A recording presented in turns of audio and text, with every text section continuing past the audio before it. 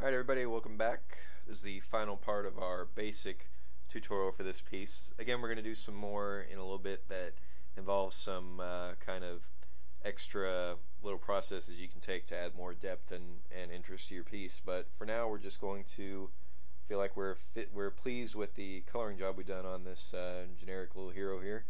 And we're going to close up the file. Uh, so there are going to be some specific steps that we've got to take for that.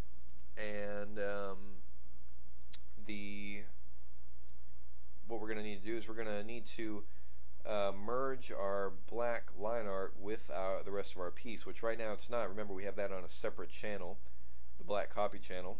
And the way we're going to do that is we're going to select that black copy channel. And we're going to select all the black in there. Uh, we're not going to use the one we're not going to use marquees anything like that because the great thing about using channels is that when you select you can go to this little option called load selection and you stay on your black channel and click OK and there you have it. Presto all of your black line art is selected for you which is a great perk to using CMYK um, now that we have all that selected we're going to fill it up. But before we put black down we're going to go back to our CMYK mode here we're going to select a special color. We're going to go, these right here is your cyan, magenta, yellow, and black. Uh, these are your actual um, color separations here. And we're going to, instead of just kind of eyeballing it over here on the, on the uh, color picker, we're going to put in a specific number here. For cyan, we're going to do 60%. For magenta, we're going to do 40%. For yellow, we're also going to do 40%. And we're going to leave K at 0. And that's going to give us kind of a kind of a grayish kind of color. Um, now we're going to go up to fill, go into edit, you have your fill command here. Again, we're not going to use the bucket or anything like that because we want some of the options that fill has. And instead of using black, we're going to go to our foreground color because foreground color picks the color that you just created in your palette. And we're going to leave it at normal with 100% opacity.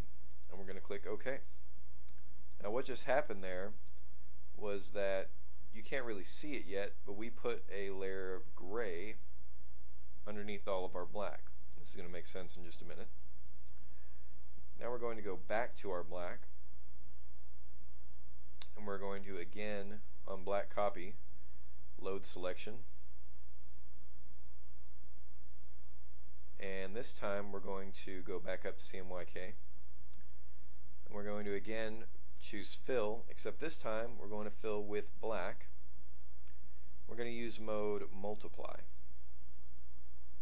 Click OK what this does is this adds true black all the way through every channel in the picture. Uh, that's important because printers print by channel and it's you're not going to get a pure black if you simply fill it with one layer of black over nothing else. It's also why it's important that we color the way we did the color underneath the line art because you're going to get a more um, a more rich piece. Uh, trust me, I have seen uh, printed pieces before that I colored it properly, uh, and it looks great on a, a, computer screen. And then as soon as you print it with a professional printer, um, you notice that some things are left to be desired.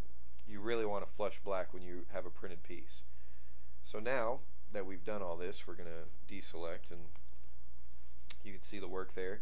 And now we're just going to drag our black copy right into our trash can and now you have a completed piece which is all I might mention uh, on one layer. We didn't have to create 30 different layers to get all these great textures and uh, effects here. So that's again part of the, the benefits of using CMYK.